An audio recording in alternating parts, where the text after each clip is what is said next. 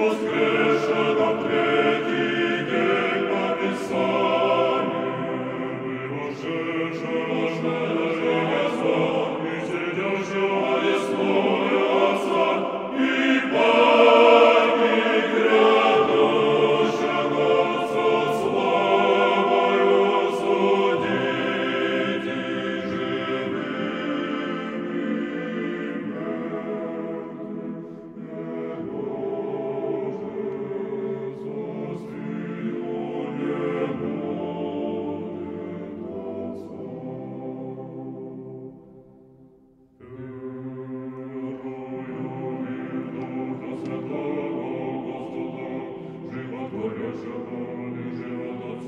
Господь, Боже, солнце, мы сыну поклоняем.